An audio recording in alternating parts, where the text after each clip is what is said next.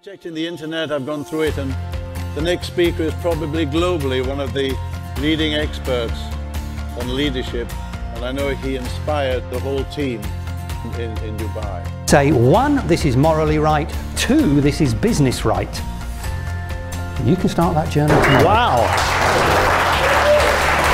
I'm passionate about helping people be more successful in this constantly changing world, in particular leaders, their teams, and organisations.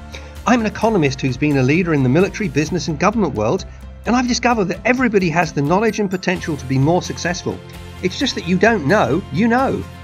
Each year, I help thousands of people around the world unleash their own potential and that of their teams and organisations. And then it's inspiring that they go on and be more successful. And I can help you do the same.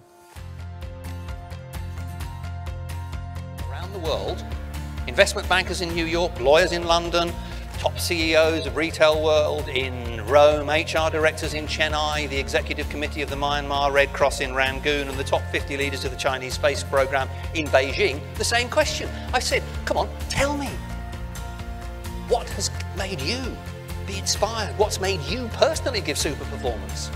And I've kept all those lists. And you know what? It's always the same list. Is that everybody overcomplicates this leadership business. So, the reason that I'm here today is that I firmly believe that in this room is the power to transform BD and the lives of the people you work with. And that's absolutely critical to success. If we take your figures, you'll say that half of everything you've ever seen started didn't work properly. I suggest that if that is the case and that is consistent, there is something going on in our organisations that we really need to start thinking about and start addressing. 30% more effort from 60% of people, ladies and gentlemen. Think about that in terms of the challenges your organisation is facing.